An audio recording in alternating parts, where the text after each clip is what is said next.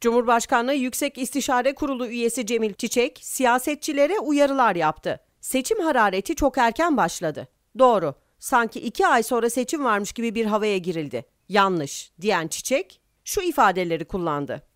Olmaz ki bir yıl sonraki seçimin tansiyonu şimdiden böylesine yükseltilmez ki. Oysa seçimin ne zaman yapılacağı belli. Her şeyin kuralı var. Yasalarda yazılı. Yine 3 yıldan bu yana Cumhurbaşkanlığı seçimi tartışılıyor. Kim aday olacak, kim olmayacak? Yerli yersiz yorumlar yapılıyor.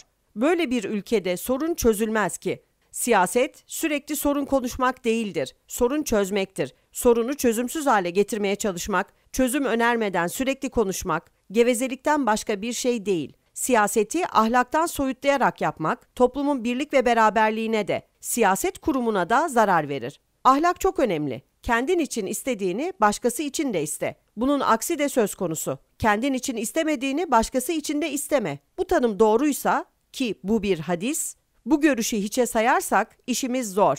Üzüntüyle görüyor ve söylüyorum ki elimizden de dilimizden de zarar gelen bir süreci yaşıyoruz, dedi.